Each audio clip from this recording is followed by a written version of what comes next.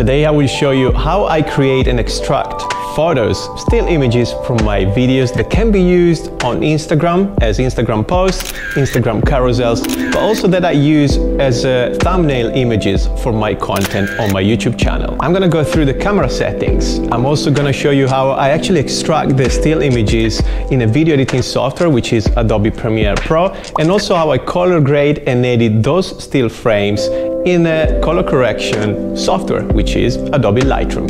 So it's gonna be a very creative and fun session, and I can't wait to see you after the intro.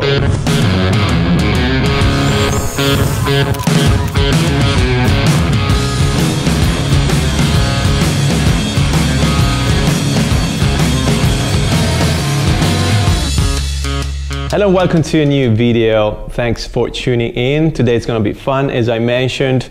At the moment I'm not owning a photo camera. I only have a video camera which is right there.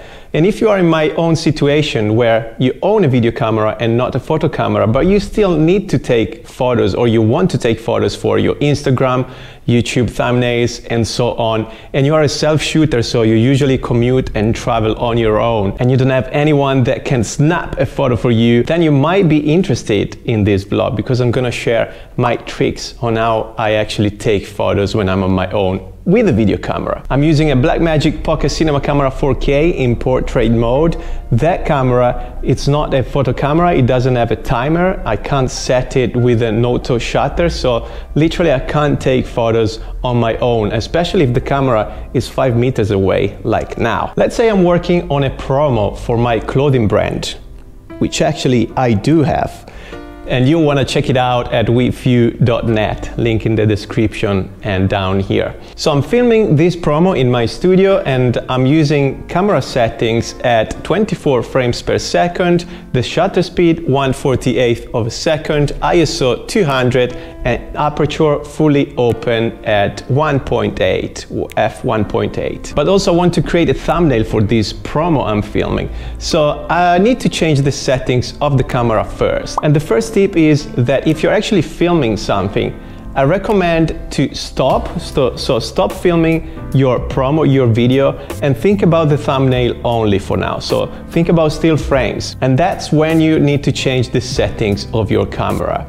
So you need to be prepared to create actually the still shots. Today we're going to create three sets of three different photos for three different products, which are the hoodies. Today we're taking photos in studio, but you can apply the same process and the same principles even if you're doing landscapes. So if you need some photos of landscapes, or if you're doing some action, maybe some sports, you can just follow this process and possibly achieve some good shots. So let's change these settings on the camera. And first of all, I was filming my video in full HD and now I'm switching to 4K. So that allows me to have a better resolution and play with the image a bit more. So if something is wrong with my image, I can actually crop it or modify it better than the full HD resolution. So that's the first setting I usually change on my camera. 4K. In terms of frame rate, I'm keeping the 24 frames per second for now because I'm in a studio, I'm not doing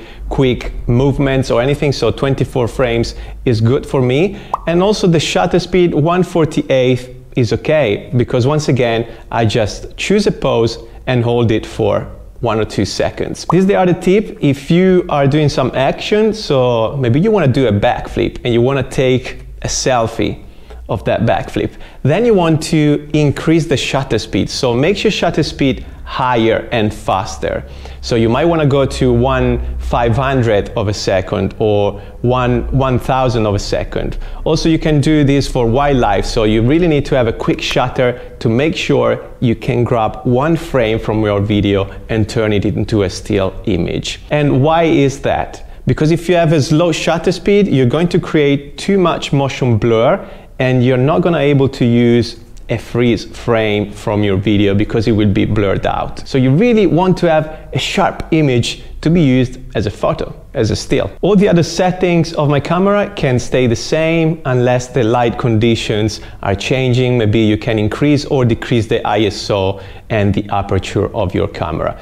But the important thing here, guys, is the shutter speed. Right, this is my first setup, lighting setup. I'm showcasing the establishment hoodie. This is the first hoodie I produced. As you can see, the, the brand colors are orange, black, and white. So I really want the orange to stand out, and that's why I recreated this white setup. I put the camera on portrait mode because I want to showcase the full hoodie first. That's my very first shot of the carousel. I'm gonna use a smoke machine to give some coolness to the shots.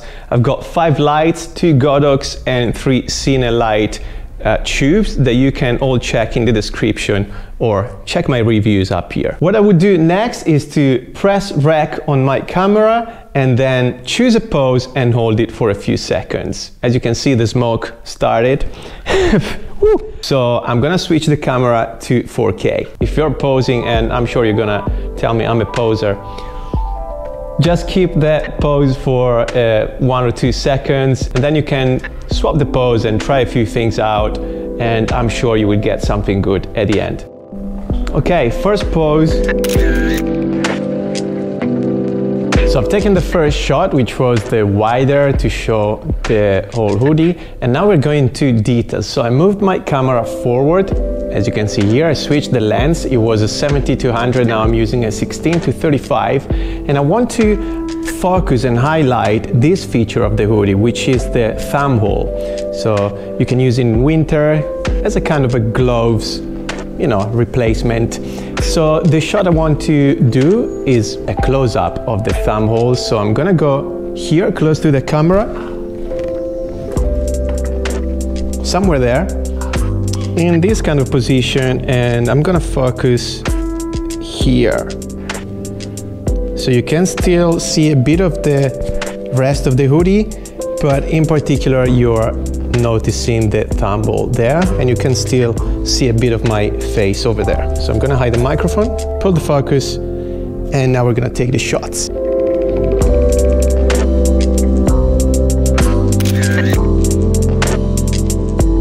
This is gonna be the shot number three. Another detail, I want to focus on the logo, still having myself here in the shot. So low angle this time, 1635, fully open at 16 millimeters, something like that. I've just finished to film the first three photos, part of the first carousel I'm gonna upload on Instagram and I prepare the lighting setup for the carousel number two. Different colors, different hoodie as well. And here comes the other tip. I want to talk to you about the format of your images. Okay, a bit of smoke, why not? This is quite a very important tip actually because you want to think about the format of your photos beforehand. So during the filming process or during the photography shoot, you want to choose portrait mode or landscape mode. And you want to have this in mind before your final result because some photos can actually work as a thumbnail in landscape, but they will not work in portrait mode and vice versa. So make sure you have in mind what you want to achieve. Now that you understood how I take photos during the filming of my project, I'm gonna skip the next two carousels next two photography sets. And actually you can see the final photos on my Instagram page, so make sure you go and follow me there at Mamo Air. Now we're going to download the files, check the videos and grab the frames we need. I have downloaded my files and I open Adobe Premiere Pro, which is my video editing software. If you have a different software, just open it up. I'm sure there's an option for you to export still frames from your videos. What I'm gonna do now is to double click on one of the files which were shot on B-RAW, which is the raw file of my video camera. I double click on it to check the file here on the program panel, the source panel. And I'm literally scrolling through the video to pick some of the frames I like and some of the frames that I'm gonna use as photos of my Instagram. This one is pretty cool already. Of course, I need to rotate it after all, but I like the smoke, so it could work. I can see the full hoodie. Maybe this one with a cheeky smile and I'm more centered and still I have the smoke covering the black part of the hoodie, which is nice, so a lot of contrast. When I'm happy with it, what I do from the source panel is to press Shift E on the Mac computers, or also you can go down here in the source panel and click on export frame. As you can see, Premiere is suggesting to use Shift E. That's what I'm gonna do.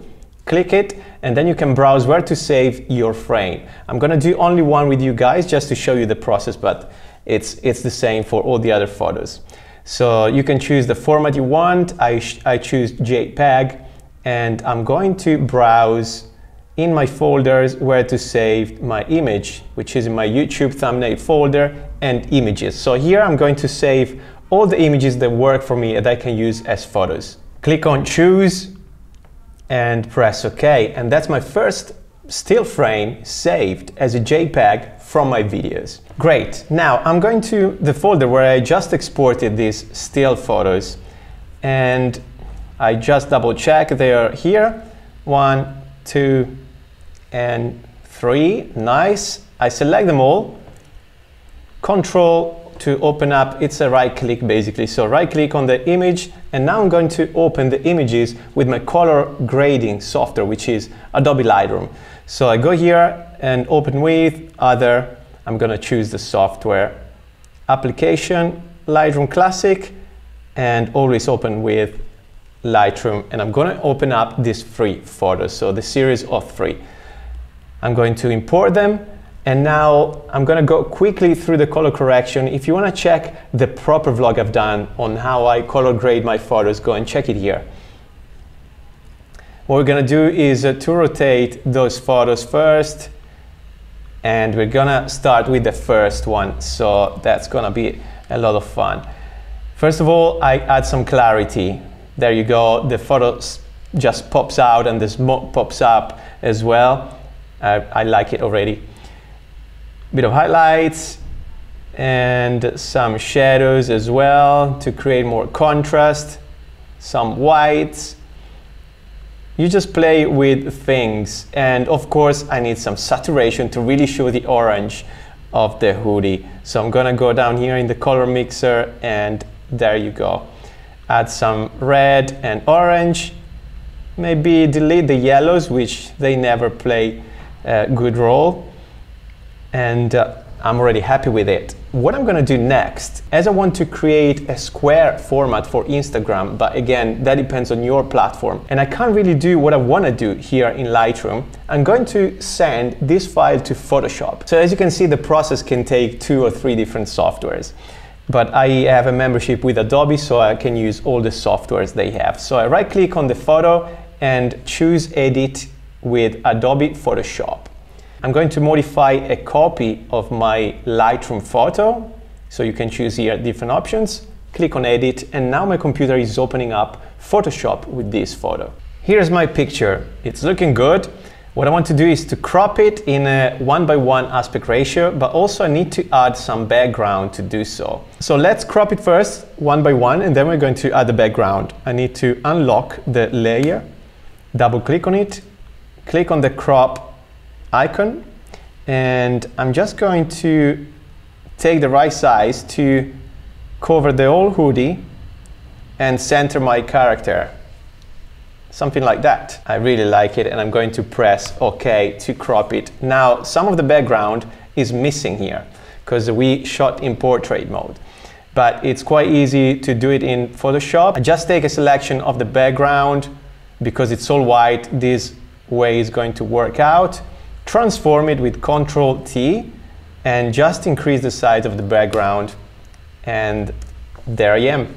And I'm gonna do the same on this side. Luckily, you don't see the smoke, so that's not gonna be an issue. We're gonna do the same thing, just increase the size of the background, deselect it, and the photo is ready to go. You can add a vignette, you can do whatever you want, but I'm quite happy with it.